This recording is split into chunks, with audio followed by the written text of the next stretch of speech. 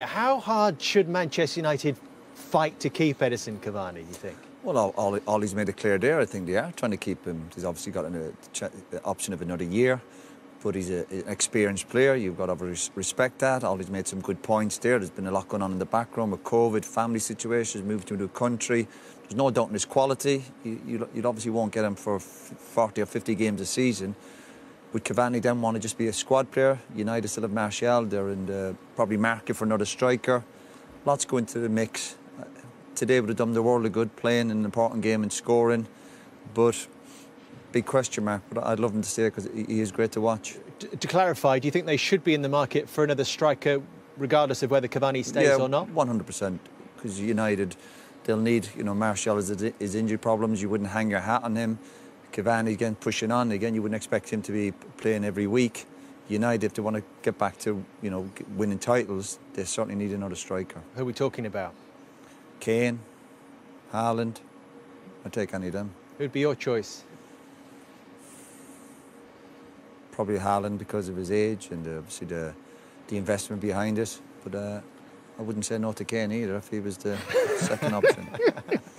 Jamie, I think one thing it depends really because of United have good young players there. You've already got obviously Rashford and Greenwood.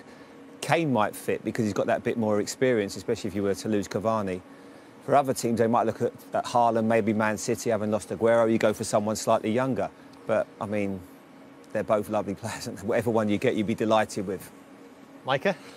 Uh, Kane, Kane, Haaland's got, I think, obviously resale value, which we all know because he's so young. But Kane, if you want someone who knows going to do the business straight away, you can't think, you know, further than Kane. You know, you see him today at times he's, he's very frustrated in this team. The way Man United counter-attack, I, I think he would be perfect.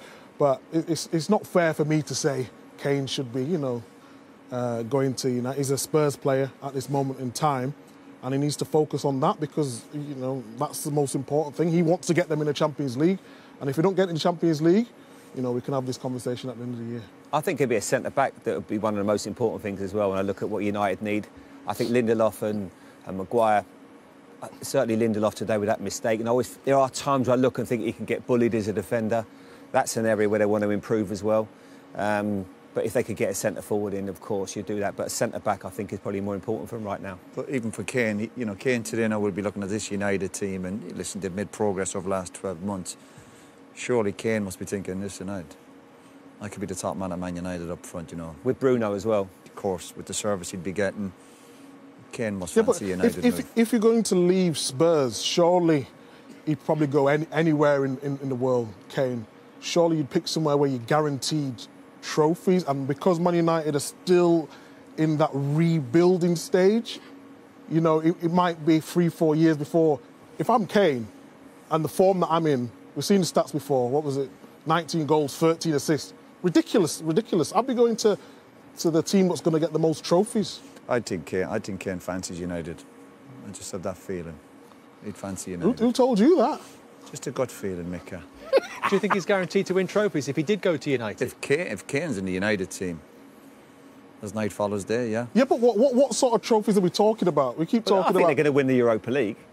Well, they have to win that. With the position they've got themselves in now, yeah. they've got to be favourites for that. No, and all of a sudden, any check, once you win one trophy, I'm sure then it becomes. Europa League's you know, a, a, a, really good trophy, start, but yeah. we're talking about if you, you, want the Premier League and you want the Champions League. Man United have closed the gap on City, and Kane would then be another huge step. Yeah. No doubt Man City are obviously going to buy as yeah, well, of course. Yeah, no, I, I, agree with you. It would be a huge and maybe ha- you know, maybe um, Kane maybe doesn't want to go abroad. Maybe he likes playing in England again. He knows the league inside out. And Man United, Man United is still a there's, huge, huge pull. There's a space up there's, top for him at City.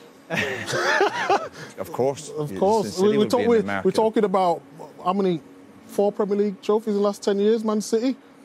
You know, why would you pick, if it was an option, why would you pick a rebuilding stage when he's rebuilding stage at Spurs? Well, well, just staying on Manchester United, do you think Ole Gunnar Solskjaer is is guaranteed to take Manchester United two trophies if he does indeed earn a new contract, which has been talked about. Well, there's no guarantee, but the progress they've made over the last 12 months, they'll all be delighted at the club. You know, obviously cemented second place. You'd expect them again to do well in Europe like they're doing.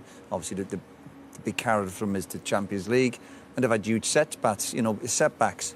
You know, going of the Champions League when they got in a great position. The Leicester game a few weeks ago. But in terms of the league, they've closed the gap to Man City, and if they can get one or two players, and I know Man City will go and get one or two, they've definitely closed that gap. And if you can add a Kane or somebody to the group, then yeah, and I think Ole will will be rewarded in the summer. There's no doubt Ole will be getting another contract uh, to be at Man United for the next two or three years.